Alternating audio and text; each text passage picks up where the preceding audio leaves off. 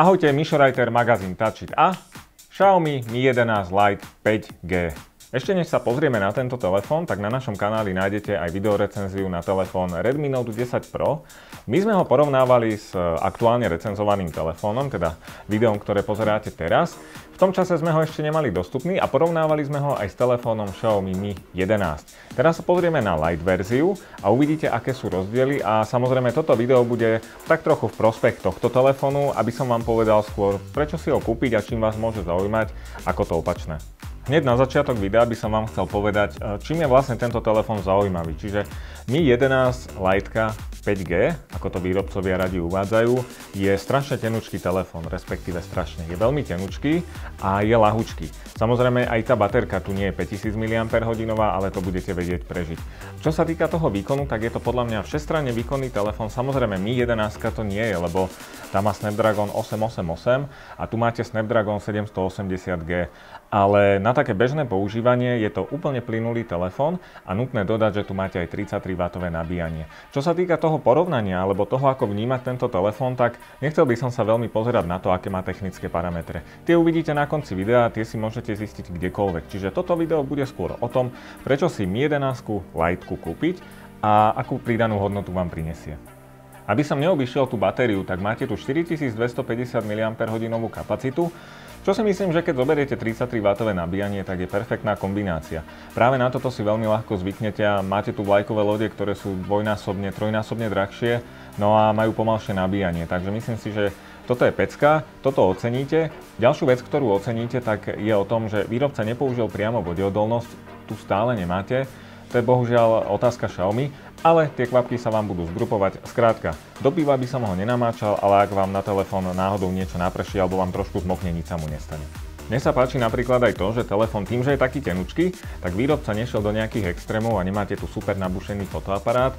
Jednak je to dané aj tým čipom, aj tou optikou, máte tu 64 megapixelový hlavný fotoaparát, ale je to veľmi tenučké a ten telefón sa dá celkom dobre používať aj na stole, že sa vám nebude tak knísať. Mne sa to veľmi páči, ale v každom prípade máte v balení aj obal, takže máte tu klasický priesvitný obal a ešte aby som nezabudol, no tak tým, že tento telefón je taký tenučký, tak nemáte tu 3,5 mm audio jack.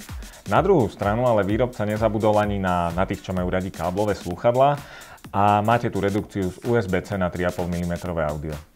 A tradične nechýba infračervený port, čiže telefón sa dá použiť ako diaľkové ovládanie a Xiaomi má na to prispôsobené rozhranie, takže na uzamknutej obrazovke stačí swipenúť do strany a máte k dispozícii diaľkový ovládač. Čo je veľmi dobrá vec, je to, aspoň teda za mňa a e, fanúšikovia plochých displejov mi dajú za pravdu, áno, je tu plochý displej, mne sa to napríklad páči, samozrejme v tejto cenovej hladine by som asi neočakával nejaké experimenty, ale je to super. Jedna taká zaujímavosť, možno trošku negatívum je, že tu nefunguje aplikácia Netflix Netflixu. Proste tu na Netflix nie je kompatibilný. Neviem čím to je, je tu AMOLED display, 10-bitový, máte tu 90 Hz frekvenciu a máte tu podporu HDR10+. Takže pozerať na tom YouTube videa. No zatiaľ to vyzerá tak, že Netflix tu nenainštalujeme, aspoň v čase, keď som telefón ja teda testoval a testujem, tak e, aplikácia sa nedá stiahnuť, nuž vystačíme asi s YouTubeom. Kým sa dostaneme k fotoaparátu, tak ešte vám chcem povedať niečo o tom, ako je ten telefón vyhotovený a o tom, ako vlastne sa výrobca postavil napríklad k bezpečnosti. Čiže máte tu možnosť odomýkania telefónu tvárou, ale to kritizujem dlhodobejšie a pri značke Xiaomi to nedoporučujem, lebo telefón vás Telefón vás skrátka odomkne, aj keby ste mali 10 rúšok na tvári. Čo sa týka tej čítačky otlačkov, tak odporúčam, aby ste si ju v rozhraní nastavili tak, že je to tlačidlo a ten snímač treba zároveň stlačiť, nestačí sa ho iba dotknúť, no a zamezíte tým náhodným odomýkaniam. Tým, že máte v telefóne procesor Snapdragon 780G vo verzii 5G, tak máte dostatočný výkon na hranie hier, na multitasking, skrátka na čokoľvek. Ja som vyskúšal tento telefón s tým, že bol Wi-Fi hotspot a zároveň som sa na ňom hral aj hry. To znamená, že ten telefón dostal naozaj zabrať, no ale znamená to aj to, že ak je naozaj takto tenký, no tak sa aj viacej prehrieva a budete to cítiť, ale nešlo o nič drastické. Poďme na ten fotoaparát. Takže máte tu tri šošovky. Hlavný fotoaparát má rozlíšenie 64 megapixelov a ak sa teraz bavíme o tom telefóne Redmi Note 10 Pro, ktorý som tu ja spomínal, tak ten mal 108 megapixelov. Samozrejme, nemôžeme sa na fotoaparát pozerať len e, cez tie megapixely, takže treba sa na to pozerať z nejakého širšieho pohľadu. Máte tu 5 megapixelový e, telemakroobjektív, čo znamená, že môžete fotiť objektív v režime makro naozaj zblízka. Vyzerá to dobre, tak ako pri všetkých makroobjektívoch treba si dávať pozor na to, aký máte uhol, aby sa vám nezačalo veľmi rozostrovať to pozadie už priamo na tom fotenom objekte. No a ďalšia vec je, že vy môžete dvakrát priblížiť. To znamená čo?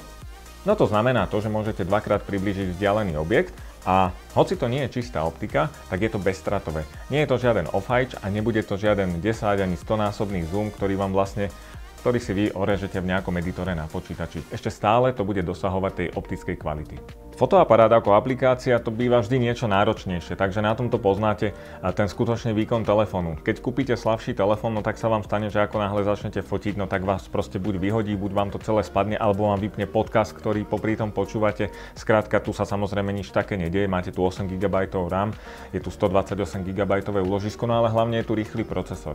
Čiže za mňa aplikácia fotoaparátu, áno, samozrejme vyzerá rovnako ako na Xiaomi Mi 11, vyzerá rovnako ako na telefónoch Redmi, ale o tom tom to nie je. Tá aplikácia je vyladená, dá sa dobre používať a máte tu vlastne všelijaké efekty, ale tie efekty už mnohí poznáte, ak máte telefón Redmi alebo Xiaomi, čiže k tomu len toľko, že tie efekty ako paralelný svet alebo rôzne efekty s pomalou uzávierkou, to sa tu vlastne podobá, ten procesor to vie využiť a vy môžete fotiť kreatívne. Za mňa je toto dobrá voľba, ak chcete fotiť kreatívne, nechcete do toho naliať úplne veľa peňazí a kupovať ten najdrahší Xiaomi telefón a stále chcete mať naozaj takú tú možnosť e, buď fotiť ultra široko, alebo približovať, alebo fotiť makro. Takže toto je určite správna voľba. Pri fotoaparáte ešte zostaneme a teraz si ho prepneme do režimu videa. Čiže máte tu 4K video pri 30 snímkach za sekundu, čo si myslím, že je absolútne adekvátne a nepotrebujete asi nič viac. No minimálne kupujete light telefón, takže chceli sme niekde ušetriť. Ďalšia vec, nemáte tu optickú stabilizáciu, ale to si myslím, že sa dá nejako prežiť. Ak robíte video, tak tu máte digitálnu stabilizáciu a z toho, čo ja som skúšal, tak sa normálne dá použiť. Nemyslím si, že je tam nejaký problém. A ešte jedna vec, na ktorú budete podľa mňa zvedaví a nie je to rozhodne žiadna samozrejmosť, a v tejto cenovej hladine už vôbec a podobá sa to na iPhone, vy môžete prepínať tie pohľady, čiže ak začnete nakrúcať video, môžete ho oddialiť a využiť ultra široký záber a takisto sa môžete postupne vrátiť k tomu priblíženiu. Poznáte to sami, ak nakrúcate nejaké video v ultra širokouhlom režime a chcete sa prepnúť do normálneho režimu alebo použiť teda hlavný objektív, no tak video musíte zastaviť a to podľa mňa nie je úplne pohodlné, tu na nič také robiť nemusíte. Video súvisí s čím?